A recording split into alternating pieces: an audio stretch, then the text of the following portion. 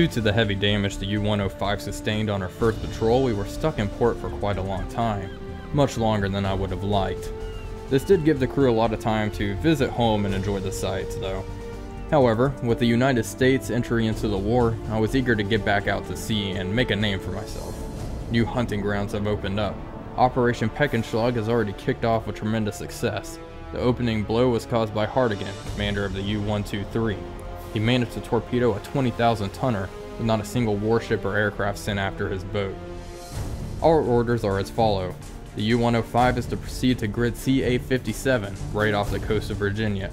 This is supposed to be a very high traffic shipping lane, and with the lights from the American cities, tracking these ships should be very easy. Let the American hunting season begin.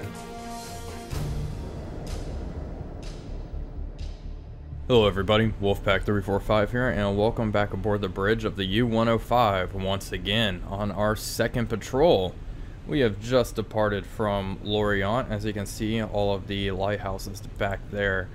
Uh, we haven't let, gotten very far at all, and the sun's just starting to set below the horizon. Uh, for our next patrol, we got assigned to a very interesting spot, and I'm sure most of you know where we are going. It's going to be the eastern seaboard of the United States. We can check on our exact grid here. Let's see. So we're supposed to go to CA57. And uh, this is going to be extremely long. It's a long journey. 7,870 kilometers.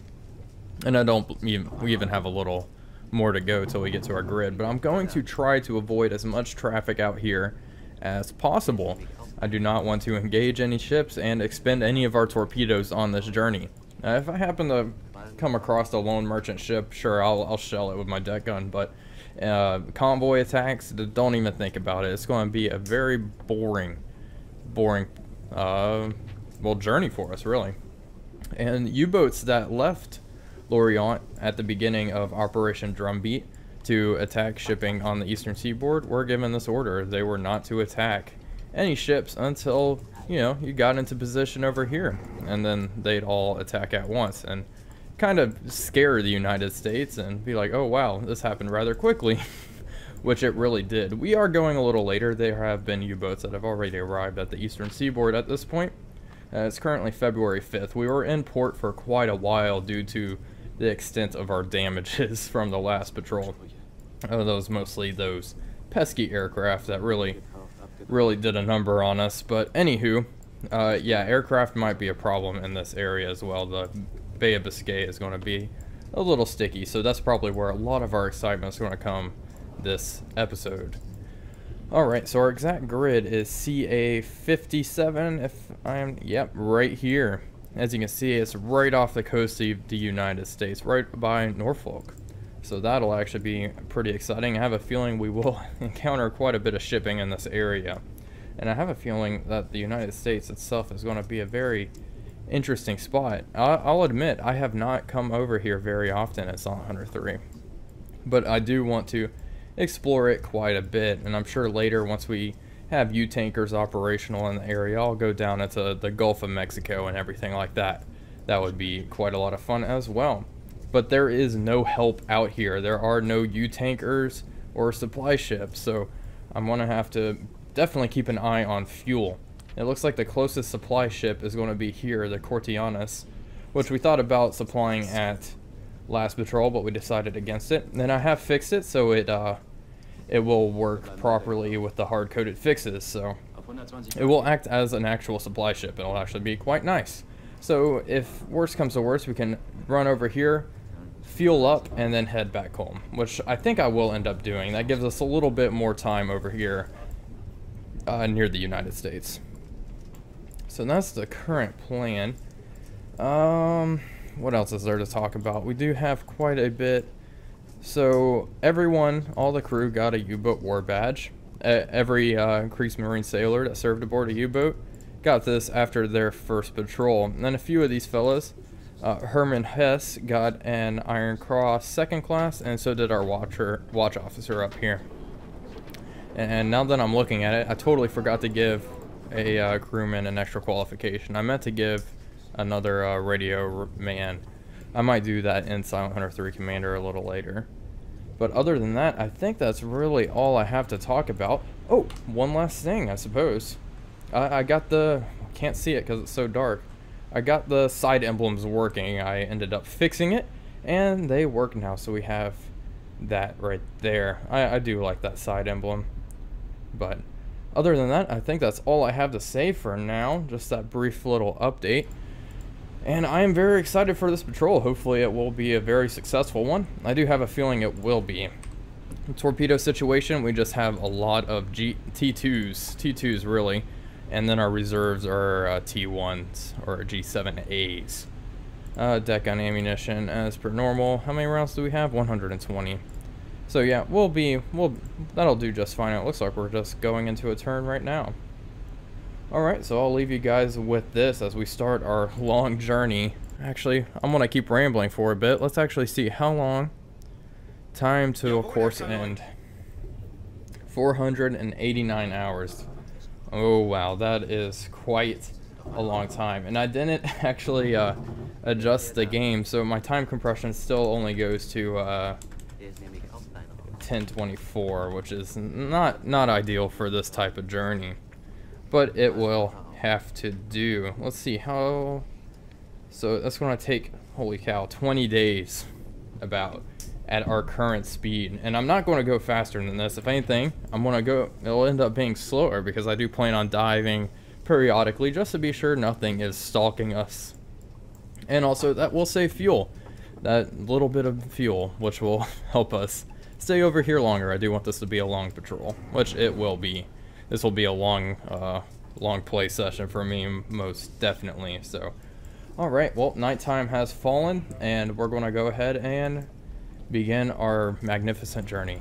So, I will see you guys whenever we probably will be attacked by an aircraft. So that's honestly the most likely time where I will see you guys next. So while we sailed across the North Atlantic here, I figured I would go ahead and talk about Operation Drumbeat, or Paukenschlag as it's known as in German. Uh, drumbeat is just a translation, obviously.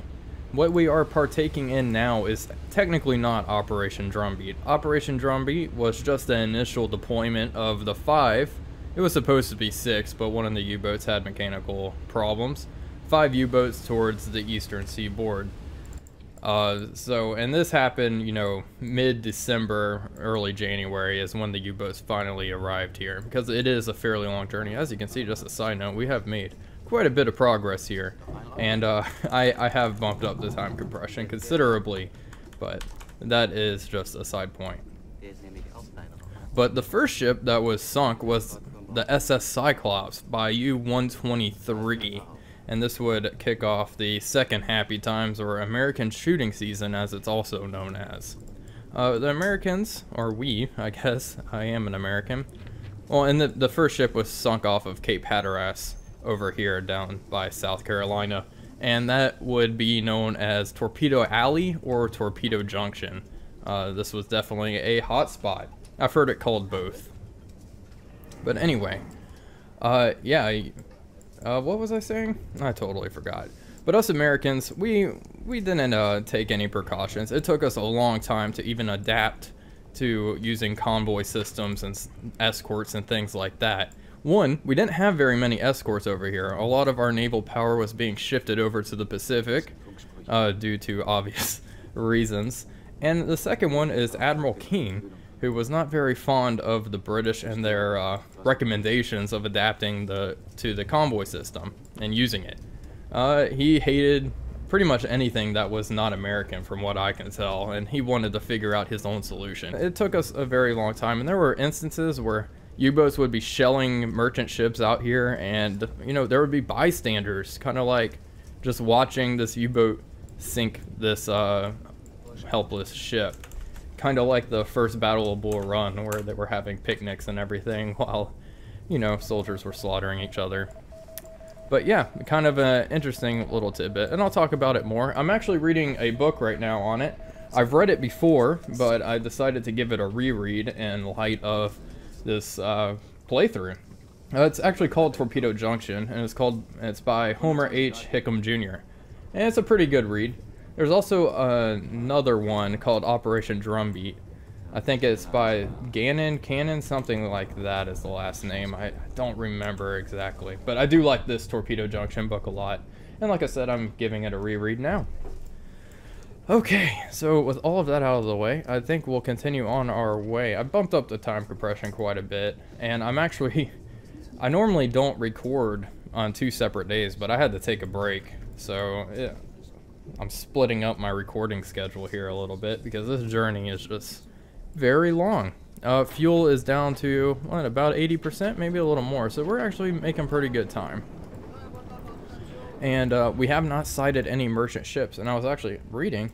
So they were told not to engage any ships out here if it was under 10,000 tons. So I, I, don't think we'll find anything larger than 10,000 tons. Anyway, if we do, I will definitely, definitely take a shot at that. But we'll close in here on the eastern seaboard. We'll be there in, let's see how long it's going to take us.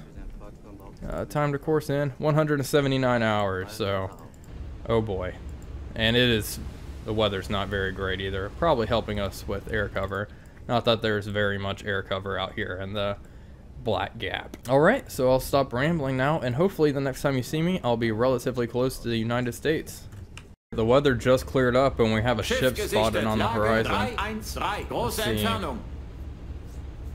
313. Oh, there we go. Ooh, that actually looks fairly large. It kind of looks like an ore carrier from here. Let's check the tonnage on that bad boy. Let's see. It is alone. It would be a mighty fine deck gun target.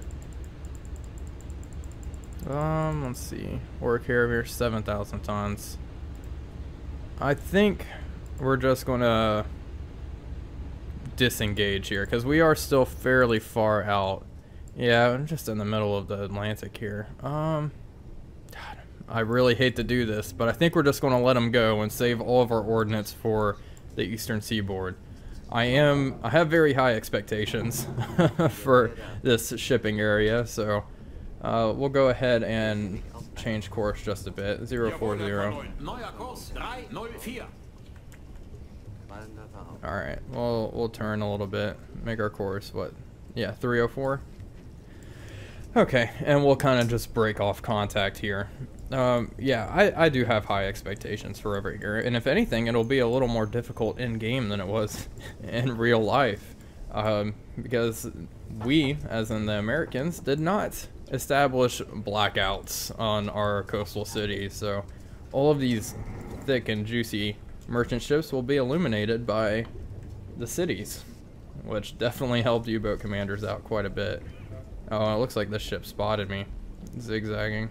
But we broke contact. Okay, we'll run away. I'm not too worried. Uh, there might be some coastal aircraft, but we're still fairly far out. Yeah, we are very far away.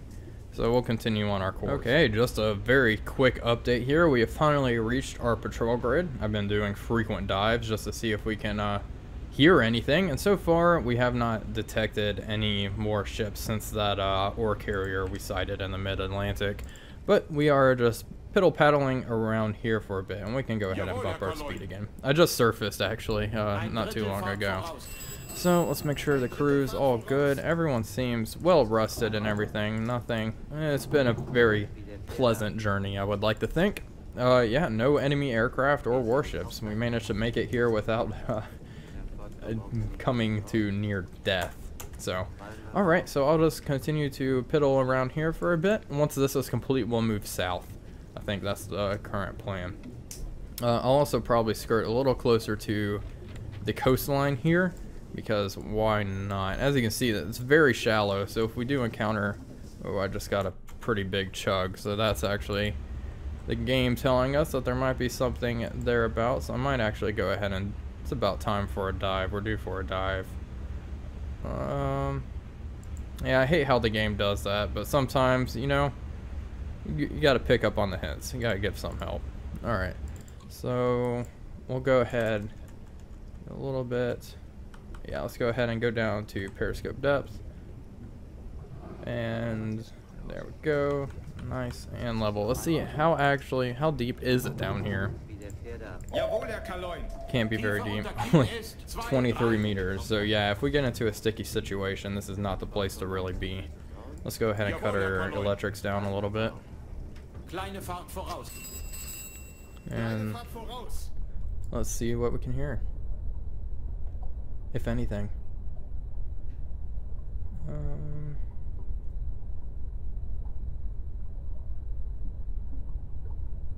Oh, looks like nothing really. Well, we'll stay submerged for a little bit and submerge through our turn. We'll probably surface around this area, and uh, we'll continue hunting. And I'll get back to you guys whenever either A, our objective is complete, or B, we have detected something. Okay, we're still in our patrol area, and we have detected a ship. We got a ship spotted there, gesichtet. three, Lage four, five 3, degrees. 4, 5. Große Entfernung. Um, you sure it's still there, buddy? Oh, I see it. I can see it just breaking through the fog out there. Okay, well, it's it is coming straight for us. We got we did get an update on it, so let's see. Let's go ahead and plot a course here, and we could probably submerge here. We do have we are in a fairly good position, so let's go ahead and yeah, periscope depth, please. Auf Sehrohrtiefe gehen. Perfect. And we'll just lay in wait here for it to uh, come across our path. Go ahead and watch our boat submerge here. Ooh, this is going to be exciting. First catch of the patrol. I'm debating I might end up using magnetic torpedoes here. Give them another try. Maybe one magnetic and one impact. That's probably a safe bet, huh? But I do want to start using the magnetic torpedoes a little more. And we are slowly going under. Oh, you can see the ship way out there. Hello.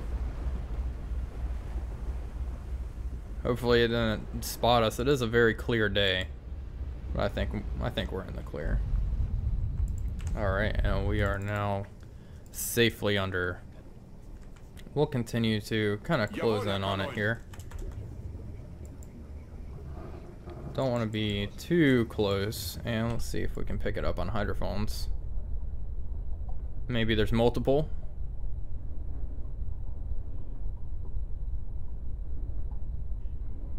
Yeah, I can kind of hear it, but it's very faint. There we go. Looks like our sound operator picked them up.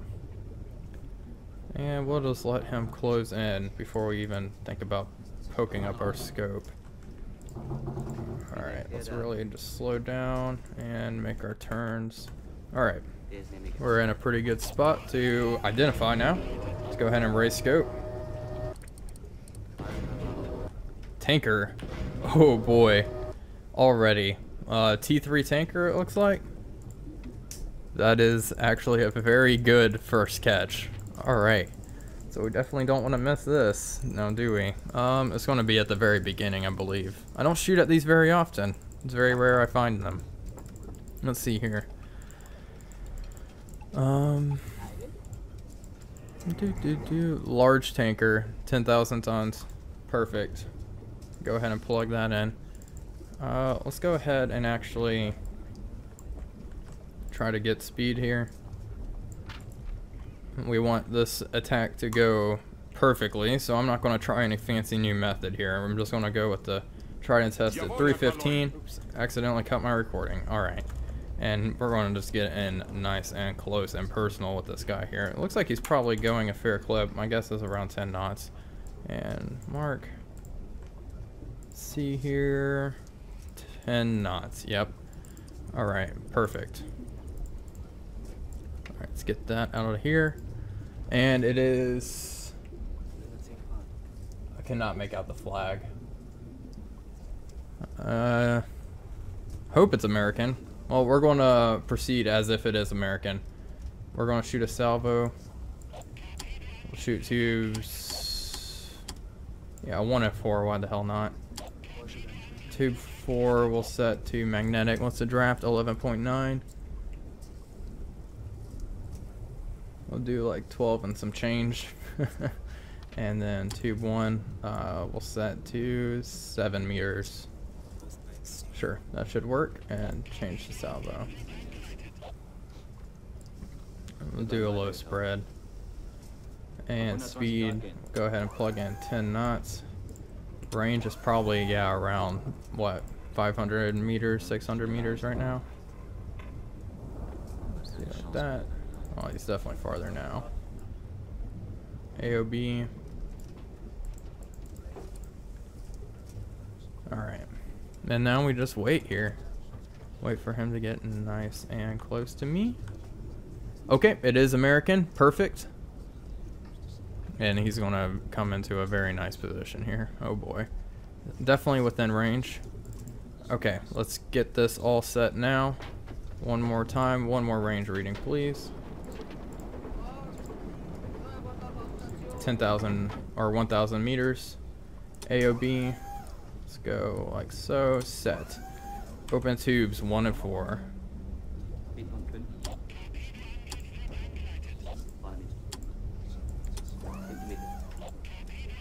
Okay. I just wanted to be sure they're all set. moment of truth, moment of truth. Alright, we need to fire now. Alright, tube 1 away. Tube 4 away. Let's see what this looks like. Looks alright to me. Hopefully our magnetic torpedo actually detonates. That would be very nice indeed. And we're going to go out and we're going to watch this. Oh boy. So that's the magnetic. I guess, wow, it is pretty Torpedo low in the water. Torpedo Two hits. Perfect. I guess he was riding pretty low in the water. He must have been loaded down with supplies and oil. That's two impacts. The first ship of the patrol got hit. Awesome. And the magnetic did go off but it did slam into the side of the hull. I wonder if that's actually going to go down. She is one large merchant ship. Well, if she is stubborn, we can always just go ahead and use the deck gun here. But hey, not too bad. Two for two. I was expecting a little worse. Let's see. Yeah, she is listing pretty heavily to starboard.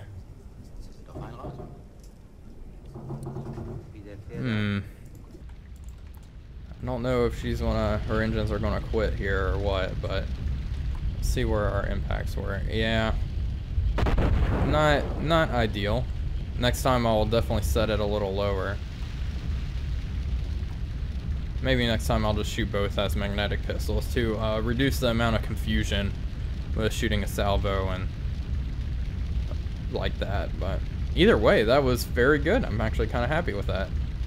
And it looks like she might keep on sailing here, but we'll go ahead and turn with her and stalk her. Yeah, it looks like she might actually be stopping dead in the water.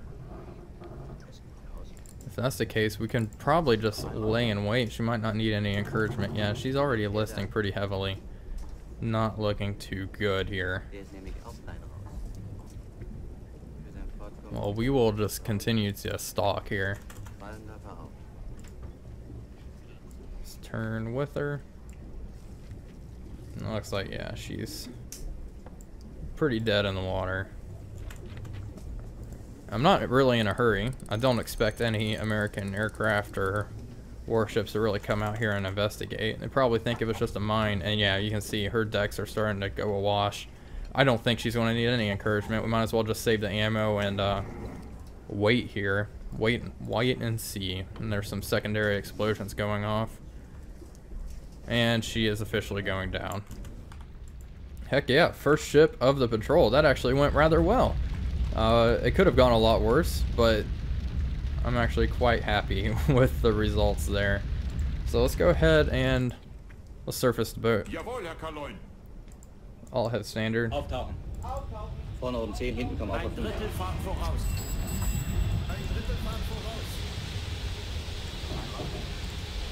Get this out of the way. Dun dun dun dun. Alright.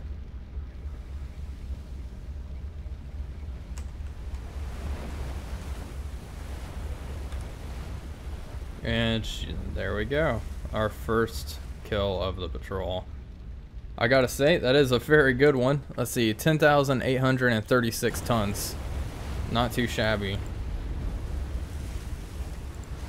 And that's our first, I believe that's the first ship we've sunk that's over 10,000 tons in our Let's Play. Pretty good. So we're to go ahead and, let's see, do we need to stick around? Yeah, we still have to complete our 24 hour things. Well, we're going to go ahead and change course just a bit to avoid ramming into Neuer Kurs, 9 our tanker friend here because that would probably cause quite a bit of damage. So yeah we're just going to go ahead and turn away at a steady speed. We're not going to really hustle or anything like that. It looks like she is starting to dip beneath the waves now. The bow is completely submerged yeah so we're going to turn away and keep patrolling this grid and then we'll move down south towards uh, cape hatteras but hey first we're gonna watch her go down all the way. Oh, there goes a flare. Awesome. Alright, well, I'll continue onward. We'll go ahead and reload those torpedoes while we're sitting on the surface. And uh, we'll do our externals later. We still have plenty, plenty of more torpedoes to go through before I even need to think about using externals. Alright, so with that out of the way, we'll continue onward, and I'll get back to you guys momentarily. Okay, we have another contact. Uh, the ship is moving south. Let's go ahead and just draw a line and turn to intercept here. It's going to take about three hours. Let's see, they say their speed is medium. Um, oh no. Oh, here we go. It's on this side. Come here. Alright, so well, let's wait for our turn to complete. So in two hours, 10 knots in two hours, it'll move 37 kilometers. Yikes, we might actually have to... Really? Yeah, wow, okay. So we're actually going to have to bump up the speed a little bit. Let's go flank. We do want to catch this guy. If possible, we might just use the deck gun this time. I do want to save my torpedoes. Uh, I did not, uh, as you can see, we have not moved very far before we got a uh, an update on another ship. So we're going to go ahead and move to engage. Hopefully we pick him up. Really do hope so. Would be nice, wouldn't it? Schiff gesichtet. All right, ship spotted. Well, that's another one. South southwest. Okay, let's go ahead and move. I, it's obviously not the same ship. Um, let's go ahead and mark its position. It looks like it's kind of hauling ass. Let's see here. What do we got? Give me a Jawohl, Herr Kaleun. bearing, please. Three three six degrees. Oh, I don't. I don't see anything, friendo. All right. Yeah, I don't. I don't see any smoke or anything. Where's he at now? Dead ahead. Yeah, I still don't see anything. Oh my goodness. I thought Discord was muted.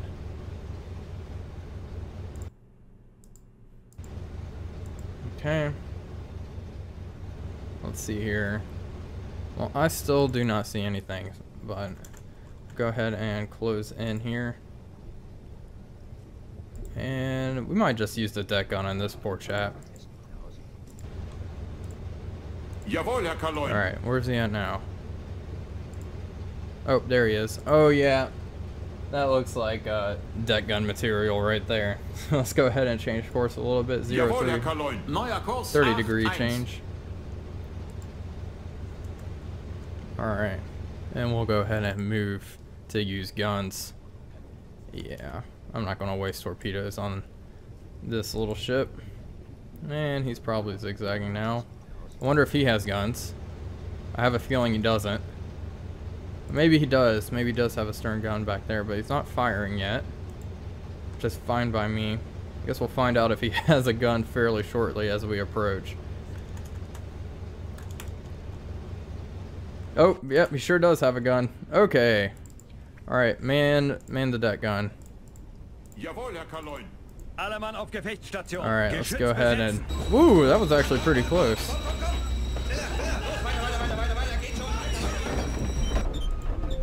Aim for Jawohl, Herr waterline. Kaleun. Auf Fire Wasserlinie at will. zielen. Feuer, Feuer frei. auf diese Wir eröffnen Position! das Feuer. Verstanden. Los geht's, Ich versuche Männer! einen besseren Winkel zu bekommen. Alright, everybody's yelling. Alright, start firing, boys. And you missed. How dare you. Yeah, they're completely maxed out. They should actually do fairly well here. If only we could just take out that gun. The gun's actually getting pretty close. Close doesn't cut it. And they missed again. Uh, if they... Yikes. Another miss? I might actually hop on the gun then. They keep missing like this. This is this is an embarrassment. There we go, right on the nose. Boop the snoot. See where you go next. Guess we are moving rather fast. Let's go ahead and Jawohl, Herr Kaleun. slow down. The problem is if we slow down, it does make us a little easier to hit. And these gunners, these American gunners are getting rather close to us. A little too close for comfort. But yeah, we're getting some pretty good hits now, so I might just sit up here on my perch and uh, watch, watch as my men do the handiwork. I don't see any need. And oh, they blew up the gun. I guess they got tired of getting Jawohl, Herr sh Kaleun. shot Neuer at. Kurs. All right, in that Zwei. case, Jawohl, Herr Kaleun. Neuer Kurs. 8, 7. Jawohl, Hold jawohl, fire. Herr Kaleun. Große Feuer Fahrt einstellen. voraus. Feuer einstellen. Große Fahrt voraus. let's get closer. awesome. I guess they were like, I've had enough of that stupid little gun. Let's take care of it. Well, I'm, I'm glad they did. We can get nice and close and make all of our hits really count here. I'll go ahead and keep using some time compression. And close in on this this merchant ship. Looks like... Well, it's certainly American. Alright, boys. Open fire. And bam, right into the hole. Pretty explosions. Another pretty good hit. And then we also have, man, we also have another ship that was moving south here. So we'll meander over here to investigate a little bit once we're done with this. I'll stop. Kaleun. Alle Maschinen. Looks like they launched off a flare. I think they know their fate now. Alright, let's just Herr Kaleun. Kleine Move slow. do not want to get rammed, however. That would not be good. I, think she's done for. We'll pump a few more rounds into her and then we'll move onward to the next target. Let's see, are we actually done here? Yep, we have completed our obligations to patrol this area, so we'll move south once we investigate this other ship.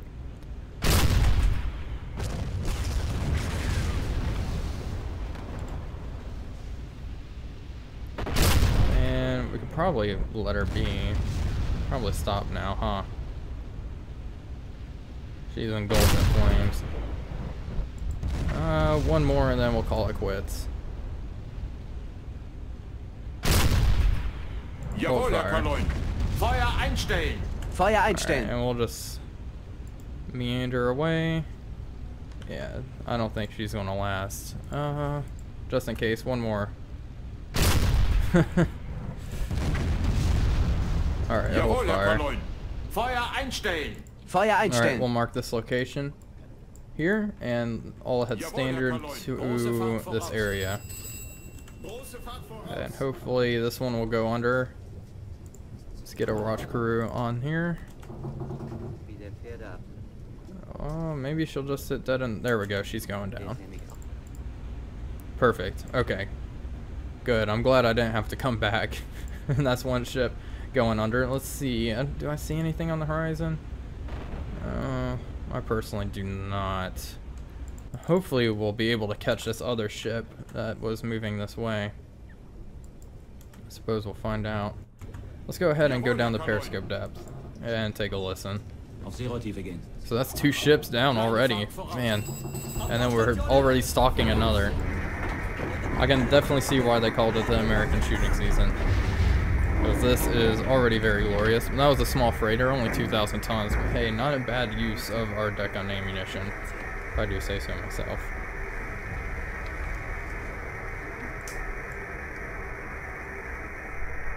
Alright, and we'll go ahead and take a listen here. Just make sure everyone's still happy, and it looks like they are. Alright.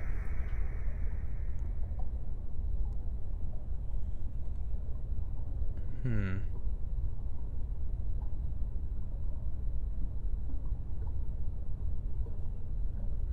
I'm not hearing anything. Oh well, I'll piddle around here and then we'll plot a course to the south. Uh, and I'm probably actually going to cut the episode here. I feel like we've been going on for a pretty good while.